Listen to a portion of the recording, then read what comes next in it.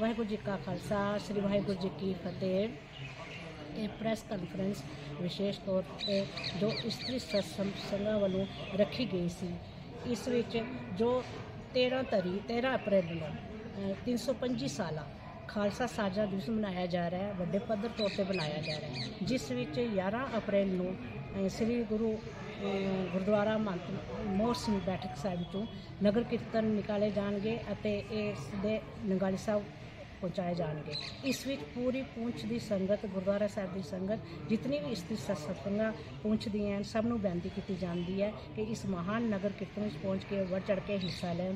Bill- ਬਿਲਕੁਲ ਕੋਈ ਮਜ਼ੋ ਮਿਜ਼ਲਤ ਤੇ ਤੌਰ ਤੇ ਆ ਕੇ ਪਹੁੰਚ ਕੇ ਆਪਣਾ ਹਿੱਸਾ ਪਾਉਣ ਤੇ ਗੁਰੂ ਘਰ ਦੀ ਖੁਸ਼ੀਆਂ ਪ੍ਰਾਪਤ ਕਰਨ। 7 ਅਪ੍ਰੈਲ ਨੂੰ 7 ਅਪ੍ਰੈਲ ਤੋਂ ਲੈ ਕੇ 10 ਅਪ੍ਰੈਲ ਤੱਕ ਸ਼ਾਮਾਂ ਦੇ ਦੀਵਾਨ ਜੋ ਗੁਰਦੁਆਰਾ ਮੰਤ ਮੋਹਰ ਸਿੰਘ ਸਾਹਿਬ ਕੇ ਸਜਾਏ ਜਾਣਗੇ, ਉਸ ਵਿੱਚ ਵੀ ਪੂਰੀ ਸੰਗਤ ਨੂੰ ਬੇਨਤੀ ਹੈ ਕਿ ਵੱਧ ਚੜ ਕੇ ਹਿੱਸਾ ਲੈਣ ਉਹ ਅਤੇ ਉਪਰੰਤ ਗੁਰੂ ਦਾ ਲੰਗਰ ਵੀ ਅਤੁੱਟ ਹੋਵੇਗਾ ਵਾਹਿਗੁਰੂ ਜੀ ਕਾ ਖਾਲਸਾ, ਵਾਹਿਗੁਰੂ ਜੀ ਕੀ ਫਤਿਹ।